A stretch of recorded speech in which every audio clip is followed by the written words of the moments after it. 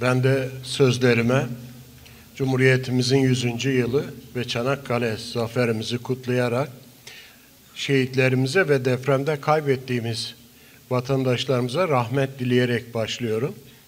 Yaşım itibariyle ben 1971 Bingöl depremi, 1977 Palu, 1982 Elazığ, 1900, 2018 Ceyhan ve 2020 Elazığ ve bu son depremi bizatihi yaşadım. Ülkemiz güzel bir yerde, güzel bir coğrafyada, stratejik bir alan. Argo deyimle iyi yerde dükkan açmışız, köşe başı. Üç tarafı sularla çevrili, her ne kadar yeterince istifade edemesek de ama maalesef alt tarafımız fay hatlarıyla dolu. Bunu da oldukça hissediyoruz. Biz deprem gerçeğiyle yaşamak zorundayız. Bunu göz ardı edemeyiz. Biz depremin öncesinde de tedbirler almalıyız. Deprem sırasında da ve deprem sonrasında da. Çünkü deprem bir afet ama afete dönüşmemesini sağlamak aslında gerekli önlemleri alarak elimizde. Örneğin Elazığ'daki şehir hastanesi gerek pandemi gerekse deprem sırasında Elazığ depremi için olsun yine son depremde komşu illerimizden gelen hastalar için önemli e, görevler ifa etti. Sebebi de büyüklüğü ve depreme dayanıklı şekilde yapılmış olması, raylı sistem üzerinde olmasıydı. Bunları göz ardı etmememiz lazım. Tabii tuhaf dönemlerden geçiyoruz. 2020'de önce Elazığ depremi oldu, eve giremedik. Daha sonra pandemi oldu, evden çıkaramadık. Şimdi de son depremde yine evlere giremiyoruz. Bunun için bu afetlerle yaşamak zorundayız.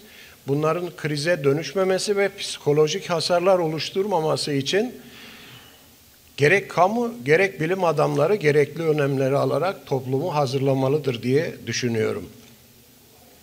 Elazığ'da 2020'de dört tane apartmanımız yıkılmıştı. 41 vatandaşımızı kaybetmiştik. 1500 civarında yaralımız vardı.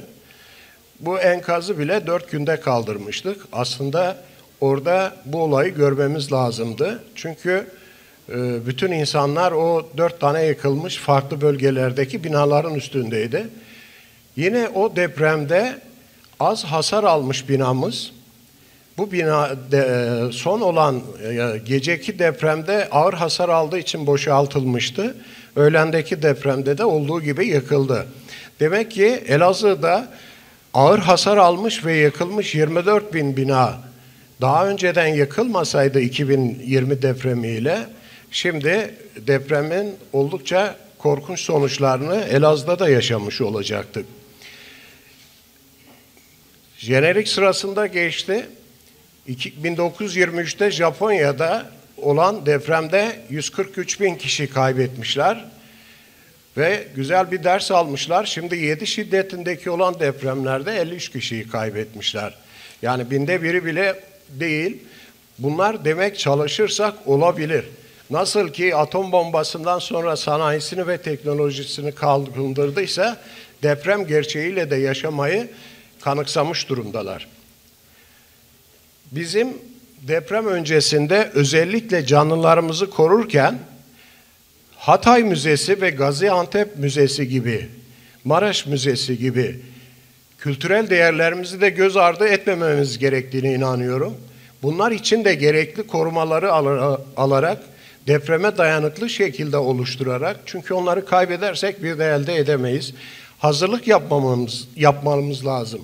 Yine deprem sırasında toplama alanlarımızın yetersizliği dikkat çekmişti.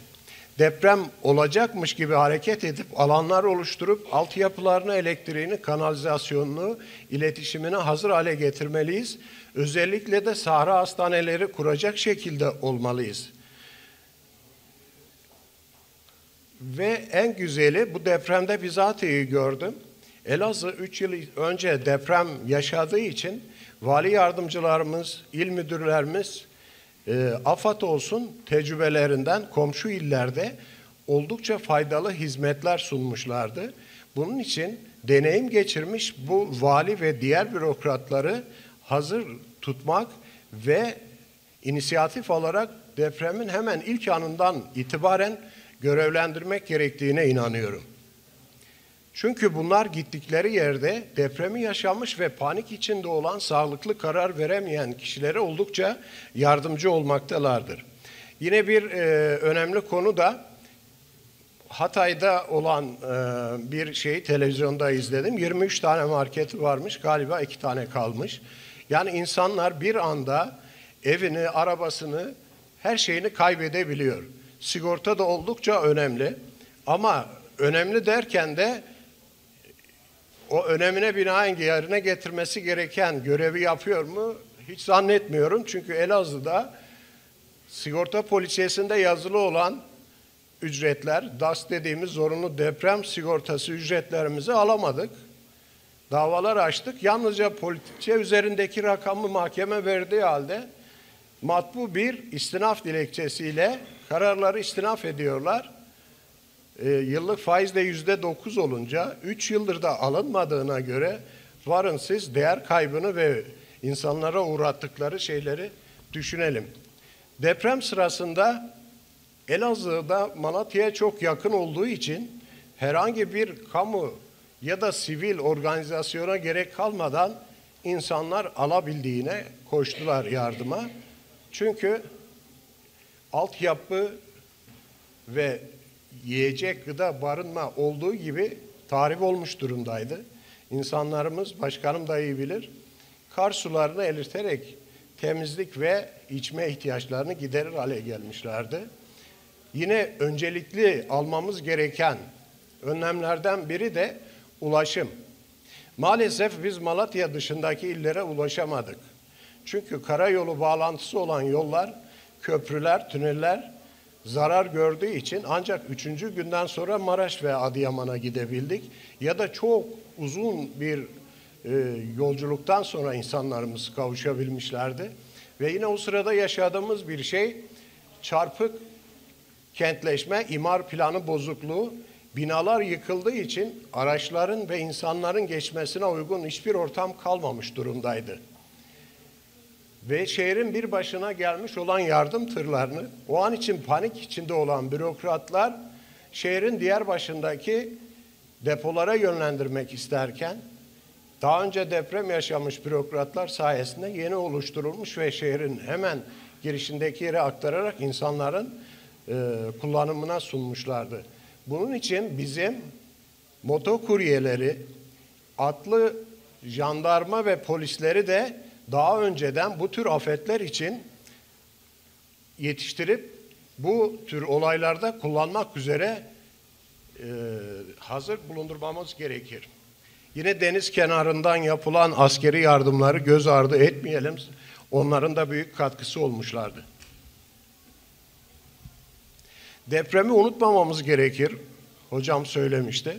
Bunu deprem müzesi olarak müzesi yaparak da e, sağlayabiliriz. Bizim çocukluğumuzda depremlerden sonra ki Osmanlı döneminde de vardır sözlü edebiyatımız oluşur. Deprem destanları yazılır. Depremi anlatan şiirler söylenerek dolaşılırdı. Biz bunu günümüzde gerek sosyal medyada hatırlatıcı ve akılda tutucu şekilde yaparak şarkılarla da elde edebiliriz. Zeynep Başkanım söyledi, kırkını çıkardık. Orta Asya ve Anadolu mitolojisinde rakamların önemi vardır. Herhalde en uzunu da 52. gecedir. Biz 52. geceden sonra unutmak zorunda kalmayalım. Ve yine deprem sırasında hukukçu olduğum için savcılara çok önem düşüyor, önemli görevler düşüyor. O anda enkazlar kaldırılmadan gerekli delillerin tespitinin yapılıp davaların bir an önce sağlıklı yürütülmesinin sağlanması gerekir.